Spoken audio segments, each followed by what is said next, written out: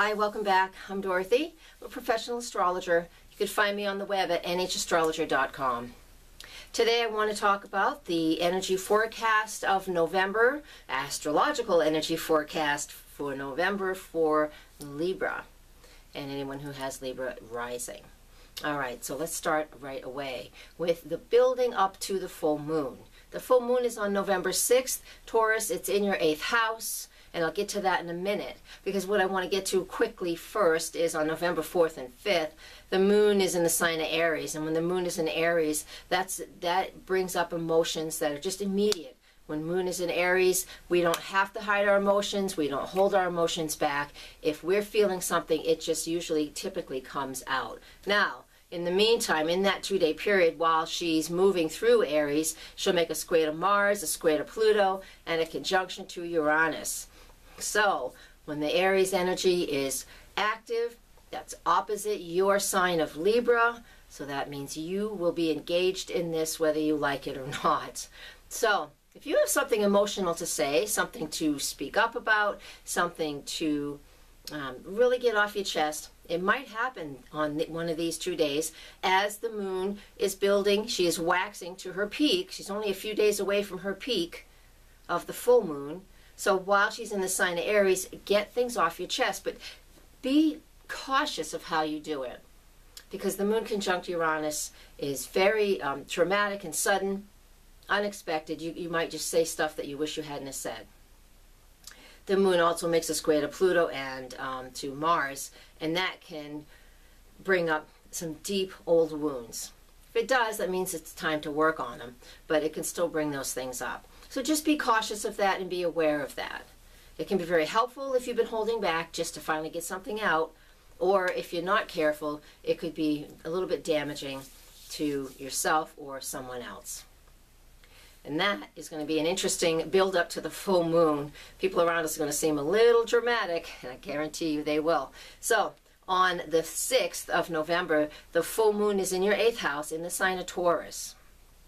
So that has you focusing now, instead of the emotional things, you should be focusing now in on finances. And this is all about, Taurus is all about how we earn our money by using our own skills and talents. But when it's in the eighth house, it's make it will make you aware, especially being a full moon, which is the culmination and time to release.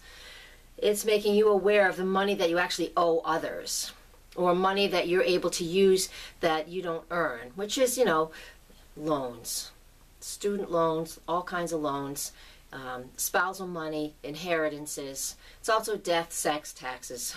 But it could be the end of uh, that you finally paid off a student loan, finally paid off a mortgage, or it could be that you know you finally get the answer that you're looking for if you're trying to borrow some money. But it will and is based on what you earn, of course, because the sun is over in the second house, illuminating the other part of your chart, which is what I value. And the Taurus is what I value. You see, there's a theme here. so for Libra, this is an extra special full moon, which is focusing in on your finances. And that transition that has to happen on occasion because we all know there's times when we have lots of money and then we have lots of savings and then we have little money, little savings. It's just this waxing and waning phase and that's kind of what's going on for you financially right now and that's the big focus for the full moon for you Libra. All right, I want to move on to something else. Now on the 11th, on the 8th, Mercury moves into the sign of Scorpio, actually back into the sign of Scorpio. It was there in early October before it went retrograde it went retrograde at 2 degrees of Scorpio. Today on, well, not today, but on November 8th, it is at 0 degrees of Scorpio. That is the same place we had the eclipse of October 23rd. Whatever was going on in that new moon, whatever started and whatever has been building over the last two weeks in that time period, from October 23rd to this full moon on the 6th, and then Mercury moves into Scorpio on the 8th. So in that time period, what has grown and what has worked for you and what isn't working for you. Mercury gets up to this zero point where the eclipse happened. It is going to trigger some other things that involve what was going on for you during the eclipse. It'll be different for everybody, so I can't tell you spe specifically. We need to do that in a private session.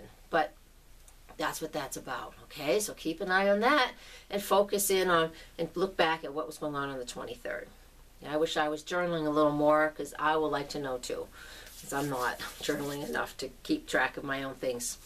On the 10th and the 11th, we have, it's I say two days, even though it's just exactly on one day, Mars and Pluto in an exact conjunction with each other in the sign of Capricorn. So this is, you know, one of those energies I told you about the moon in Aries making a square to these guys. Well, today on November 10th and November 11th, the energies are exact. Mars, Pluto conjunct. They're in the sign of Capricorn. That's very intense, powerful emotions. But what they do is they help us to really, to truly see what our foundation is, because they're both in the sign of Capricorn. So it brings, it should usher in some stability. So you're able to really get rid of the muck, dig out the crap, and see where that foundation really is. I just imagine the swamp and cement pillars going down, and you're just trying to find the bottom of those pillars, and you have to just dig stuff out. So think about that in your life. I know we all have something that we have to dig up and work out. On November 13th and 14th. The moon will be in Leo. This is more dramatic than an Aries moon by a long shot. The moon in Leo is all about drama. It is making a square to the Scorpio energies I've spoken about and the Taurus energies I've spoken about. So again, we have another T square, but this time it's fixed. So around the 13th and the 14th, sorry, I keep having to look down. I'm looking at my notes. And the 13th and the 14th, there is, um, there can be some tension and some stress which means we need to be releasing some things because we are in that waning phase now of the moon. So if something feels really stressful, very dramatic, that means you need to let it go. Let it go. I know I hate saying that because I hear that song from Frozen, you know. Anyways, that's what you get when you have grandkids. But use that energy to release the things that are really showing up in your life that have to get let go. All right, you have to let go of. There we go. Much better. All right, on the 22nd, we have that new moon in Sagittarius. It's at zero degrees of Sagittarius.